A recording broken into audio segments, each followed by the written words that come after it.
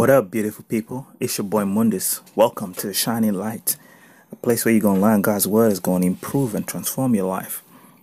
I'm back again with another beautiful daily devotional from Rhapsody of, Realities by Pastor Chris. And today's title, we're going to be reviewing one of the articles um, titled The Power of His Word.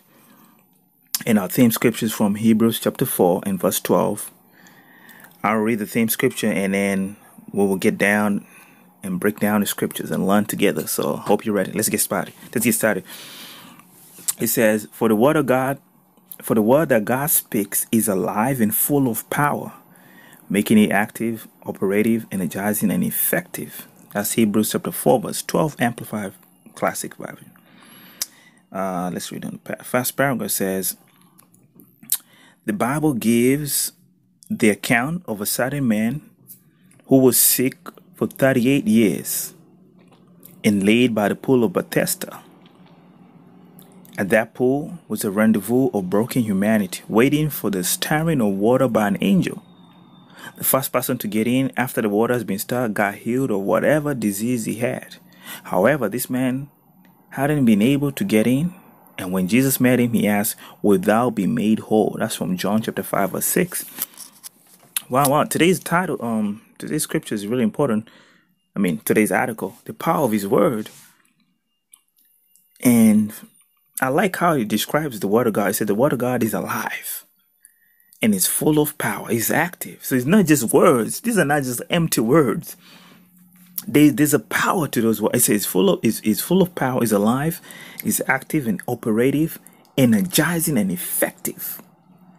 So these are just these are not just hollow words that God speaks. No, it says the, the word that God speaks. You know, interesting keyword here is the word that God speaks. So the word has to be spoken. The spoken word that God speaks is, is alive and full of power. And you know, I like this story about this dude that was lame and for 38 years. I mean, he was crippled for 38. He was sick. For, he said he was sick for 38 years and he was laid by the pool. You know, and uh, they had this pool where, um, where uh, an angel of God. You know, let's read that scripture. That's from John chapter five and verse six, and we can see the power of God. So let's just go read John chapter five verse six. Um, before I explain that further, so let's just go there real quick. John chapter five, five and verse six. Right. Uh, let's start from verse two. So I can he, he gives us a background of what this pool of Bethesda was and what the angel was doing when he came and started water. So I'm gonna read on for verse two. John chapter five verse two. He says, "Now they there is at Jerusalem by the sheep market a pool, which is called in the Hebrew tongue Bethesda, having five pouches." In this lay a great multitude of impotent folk, of blind, halt, withered, waiting for the moving of the water. So like this was like a like a congregation of sick folks came into this place for a miracle. All kinds of sickness. He was saying blind, withered, uh, impotent, but they were just waiting for the moving of the water. They knew if the water is stirred up, that means an angel of God. Let me, I'm just getting ahead of myself. Let me just keep on reading. they were saying, waiting for the moving of water, for an angel went down at a certain season into the pool and troubled the water.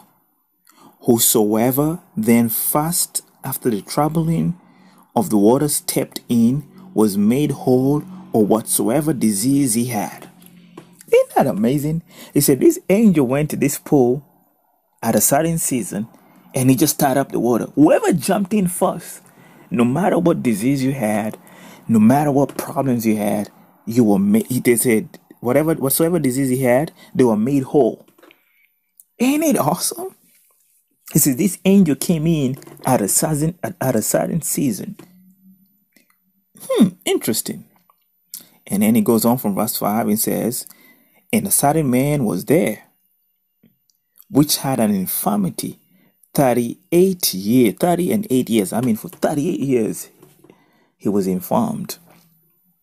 And then he says, when Jesus saw him lie and knew he had been now a long time in that case, he said unto him, Wilt thou be made whole?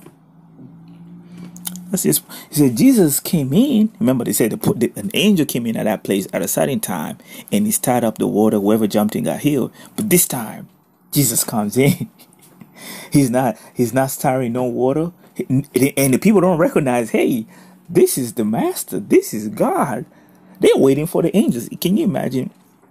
Everybody else is just waiting for an angel, just waiting for that angel. Even this dude uh, has been here for 38 years. It's like we're waiting for the angel to stop the water. But the greater than the angel, the one that was greater than any angel, showed up.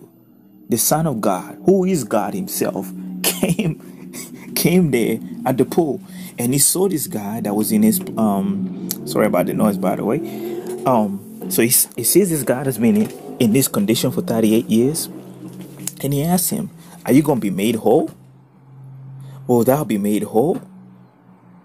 Man, that hold on a second. That just gives me that gives me an inkling. That means Jesus had chosen this dude to be healed. He's because he said he said he said he's been in that condition for 38 years. And he said, Are you ready to be whole? Will you be made whole? But this guy thought, okay, let me just not go ahead and say and then so Jesus said, Will thou be made whole? The, imp- the impotent man answered him, Sir, I have no man. When the water is troubled, to put me into the pool. But while I'm coming, another steppeth down before me. Oh my God. Did you understand what's going on? Hold on a second. Hold on a second. Two seconds. Let's just go back to the top verse. He says, Man, I think this scripture is loaded. I know I'm, that's not the topic where I'm going, but I, I want to show you something. Um, it says from verse 4 For an angel went down at a certain season into the pool. An angel went down there at a certain time in into the pool and he troubled the water. Whosoever then first after the troubling the water stepped in was made whole. Was made whole. Not, notice the words. He was made whole or whatsoever disease he had. And then he says Jesus came, he saw that man lie, and he knew he had he had been now a long time in that case, and he said, Will thou be made whole? and this dude thinks, oh, he's talking about, oh, are you going to jump in the water so you may be whole? He didn't know this is the Son of God. This is the Master that's come to make you whole. It's, it's beyond an angel now. Anyway, and so he says, I don't have anyone that's, that's going to be able to to to put me into the pool. Every time I try, someone else jumps before me. And Jesus said unto him, Rise, take up thy bed, and walk. He didn't need to start any pull up. He didn't need to start any water. He didn't need to touch him. He just told him, Rise, take up thy bed, and walk. And immediately the man was made whole and took up his bed and walked on the same day was the Sabbath. There was no water to be stirred. Before the angels had to come in and you had to jump in, but now Jesus comes in and shows this a this a new period now the new period of grace where God comes to you and He says, Get up and walk. You need nothing, no contact. He just spoke words.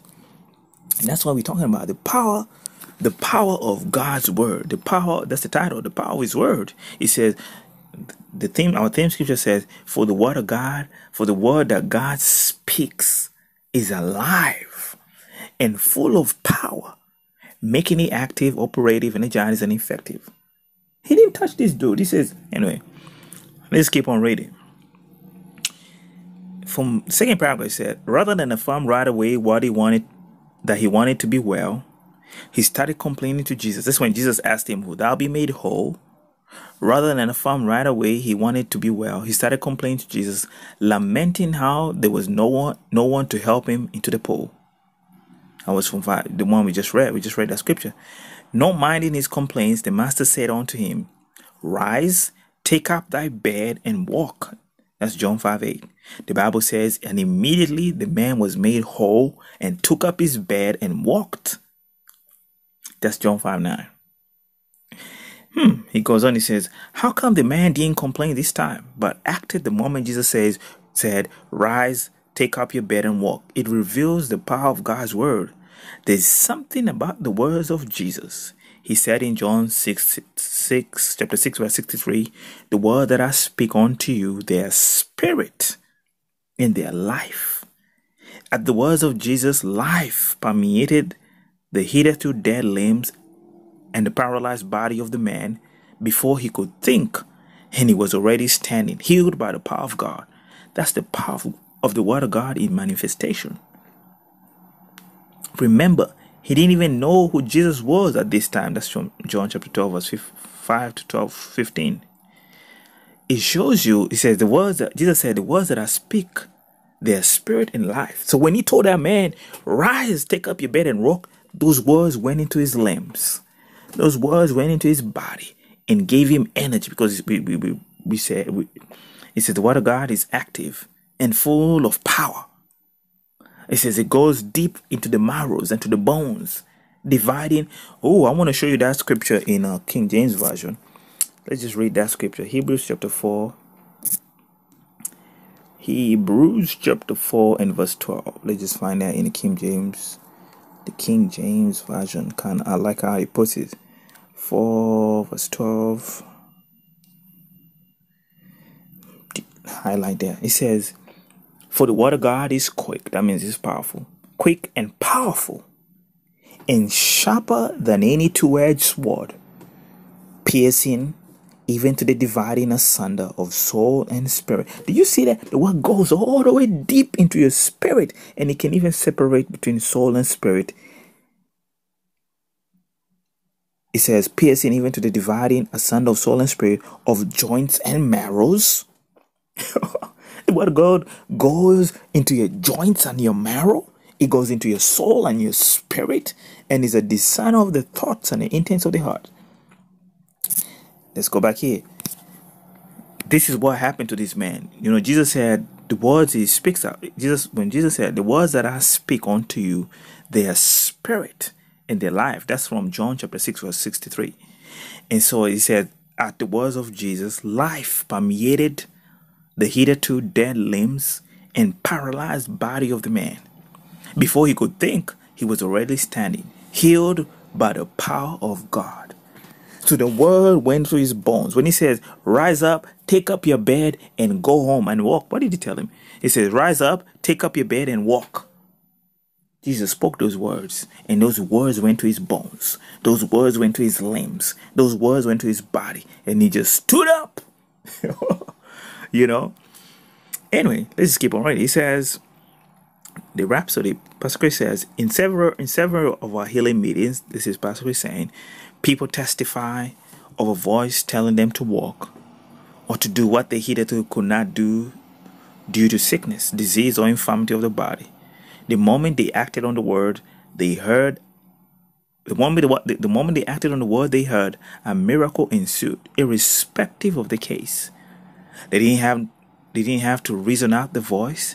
They knew it was from God and acted accordingly from the Spirit from their spirit. And it's amazing. If you watched um, Pastor Chris videos, uh, the man of God healing services or healing school, you can just see how miracles that take place when just people from hearing, listening to the word, and they get inspired and they hear that voice from the word. The Spirit of God speaks to them and they act on that voice, and a miracle takes place. Just like this dude that was lame for 38 years, he he was complaining to Jesus. Think about it. He was just complaining to Jesus, and Jesus said, Yo, rise up, take your bed and walk and go home. And a miracle took place. The words were powerful enough to produce a miracle, to heal his body, to get to get him up. Um this reminds me of another story too, a miracle that took place. Uh let me show you that scripture if I can find it. Oh, it reminds me of another story, which is powerful too. Let me see if I can find it. Stretch forth. Let me let me hold on let me find this so yeah this is another beautiful miracle from the power of jesus word the power of the word so it's from i'm reading the book of luke chapter 6 verse 6 let's just read this uh, from verse 6 it says and it came to pass also on another sabbath that he entered into the synagogue and taught. And there was a man whose right hand was withered. That means he had like one of those, his hands were shrinked or was kind of withered away, shrinked. And the scribes and the Pharisees watched him, whether he would heal on the Sabbath, that they may find an accusation against him. Can you believe that he's performing a miracle? They're just caring about the Sabbath. That's a, that's interesting. But he knew their thoughts. I'm reading from verse 8. He knew their thoughts and said to the man which had the withered hand. This man's hand was short and shrink. That's what it means. He told him, Rise up and stand forth in the midst. Okay, and it's to um so Jesus talks to the man, he says, Rise up, stand forth in the midst, and he arose and stood forth. Then Jesus then said Jesus unto them, I will ask you one thing, is it lawful on the on the Sabbath day to do good or do evil, to save life or destroy it? Or destroy it? And looking around about upon him, he said unto the man, Stretch forth thy hand, and he did, and he did so and his hand was restored whole as the other.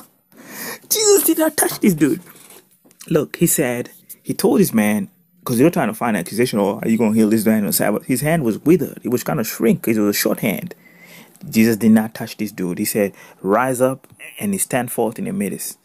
And he, and he said, and he looks around and he, and he asks a question, is it lawful to heal on the Sabbath? They didn't answer him anyway. And he speaks to the man. He says, stretch forth thy hand. I mean, if this dude could have done this before, he could have done it. Why? He didn't need Jesus to tell him that. If he was like, oh, all I need to do is stretch forth my hand. Oh, duh, I should have done that ages ago. I'll be healed. But no, these were different words. These were full of power and life. He said, stretch forth thy hand. And he did so. And his hand was restored whole as the other one. That's amazing. Anyway, let's finish reading this together. Uh, let me read the, the last paragraph. Um, that's the way to respond to God's word. It is it is from and with your spirit. God's word is addressed to the human spirit, not to the head or the mind. He knows he knows that the word in your spirit mixed with faith will surely produce results. Amen. Amen. Alrighty. I want us to take this prayer together. I want you to say this prayer out loud, repeat it out loud. It will change your life. When you speak God's word, it transforms your word. The word of God is in the speaking. So say this prayer out loud and bless your day and walk in victory. Just say this after me. Dear Heavenly Father, I thank you for the ability and the power inherent in your word, which produces in my life and circumstances what he talks about. I'm making progress from glory to glory by your word. In Jesus' name, amen. Glory be to God. And you can read further studies today. A scripture for you to read for today. Read Isaiah chapter 55 and verse 10 to 11. And read the book of Acts chapter 20 verse 32. Those two scriptures for today. That will bless you. Alrighty, I hope you've been blessed by today's devotional. Um, if you have any questions, any comments, leave it in the comment section. And if you're following a one-year Bible plan or two-year plan, the scripture's right there for you to pick, whichever suits you, whichever plan that works for you. And make sure you subscribe to this channel if not, because I release a video every day and we study God's word. It's going to change your life. So it's important for you to subscribe so you can get notifications and not miss a video and I would really appreciate it if you share this video to your friends, uh, social networks. Uh, that would really that would be really great. And I want to give a chance to someone that's not born again. If you're not born again, if you don't know Jesus as your Lord and Savior, today is your day to receive salvation for your soul. The Word of God will change your life. So I'm gonna lead you into a prayer of salvation. Just say this after me. Repeat it out. Oh Lord God, I believe with all my heart in Jesus Christ, Son of the living God. I believe he died for me and God raised him from the dead. I believe he's alive today. I confess with my mouth that Jesus Christ is the Lord of my life from this day. Through him and in his name, I have eternal life. I'm born again. Thank you, Lord, for saving my soul. I'm now a child of God forevermore. Hallelujah. If you said that prayer, congratulations, you're born again. Simple as that. Leave me a comment so I can know you said this prayer so I can respond to you as soon as I can. Subscribe to this channel if you have not. Until tomorrow. Be victorious and prosperous in all you do. It's been your boy Mundus. God bless you.